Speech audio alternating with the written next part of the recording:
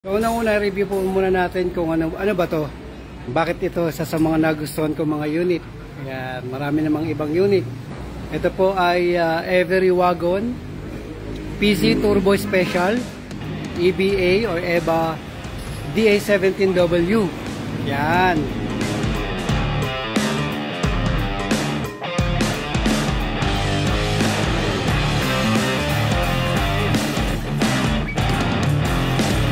Live po tayo ngayon sa Master Garage uh, Cavite Main Branch. Yan.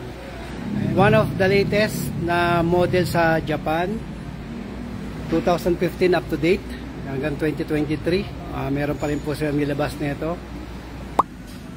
Two-wheel drive master available din po ba? Yes, maraming variant na lumabas nito mga paps. Merong DA17V, ayan yung mga base model lang. Uh, Tiptronic siya. Uh, meron two-wheel drive, merong uh, all-wheel drive, meron ding DA17 na naka-turbo na rin. Copy. Marami tong mix and match eh. Ito kasing PC Turbo, special na nakuha ko ay low roof. Meron pang high roof niyan. Yan. Marami pang nga tong kulang actually kasi ang gusto ko talaga yung pinakasagad na, yung 4x4, dual uh, slide, uh, high roof. Ang problema, napakahirap kumuha napaka-rare. Meron pero rare.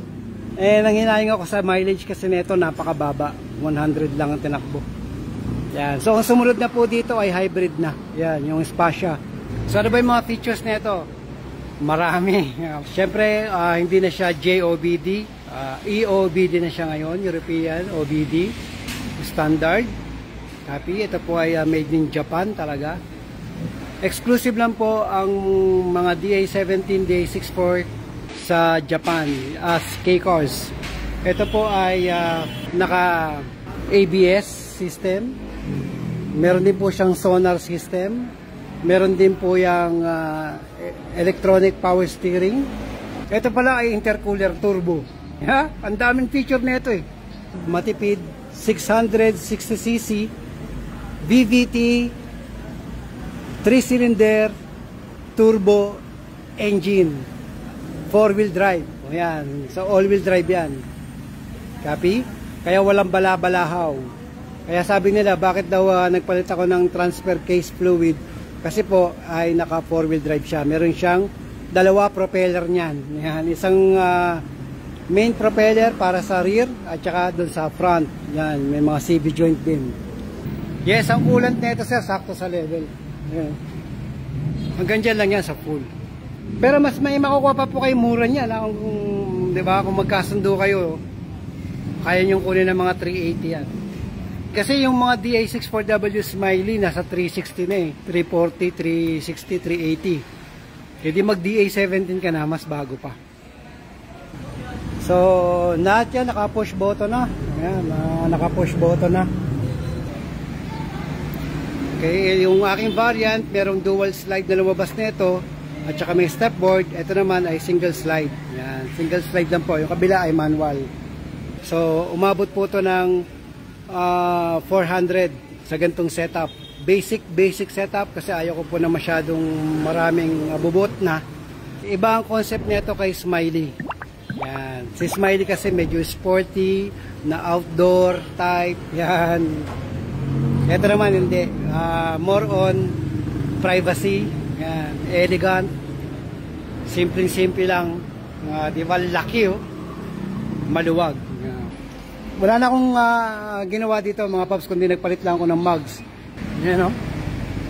Ang kapal-kapal pa ng gulong. So pinalitan na natin. Ito kasi size 14 lang. Ayaw ko lang stock. Gusto ko may konting angas. Ano size ng mugs? Ang mugs po nito ay size 15. Go ahead. Offset ng 8.25. Ang tire na ginamit ko ay Yokohama na Blue Earth. 175 50 15. Ano name ng mugs mo? Bosen? Na surplus. Ha? Yeah, mahilig lang ako sa mga surplus eh. Uh, gagawin pa lang po yung uh, Pampanga. Yeah, so budget ka ng mga uh, yan, Depende sa tawaran niya yan. Depende sa option na gusto mo. Pag maraming kolorete, maraming add-ons. Copy? Ayan, hindi ko kayo mapapahiya na kumuha ng ganito. Okay? Basta pipili lang po kayo ng mahusay na builder. Yung review po muna niya, yan ang number one, yung reputasyon ng tao. Dahil kapag yan po ay um, mm, pera-pera lang, ma diyan kayo iiyak mga paps. Namiss ko kayong lahat. Ah, marami pa tayong mga um, ah, gusto kong share ka- kagaya kahapon, yung mga simple-simple things lang pero sakit ng ulo ng ah, ng may-ari. Lumaki pa ang problema. Nag-jump ka agad doon sa makina. Yun ang problema.